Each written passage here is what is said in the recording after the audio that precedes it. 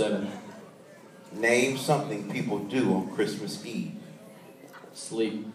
Name something you hang on a Christmas tree. Lights. Name an item likely found in a Christmas stocking. Candy. Name something you avoid during the holidays. Your aunt. All right.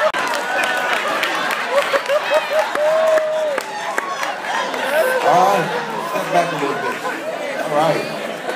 All right. You got good ass. What are we talking about.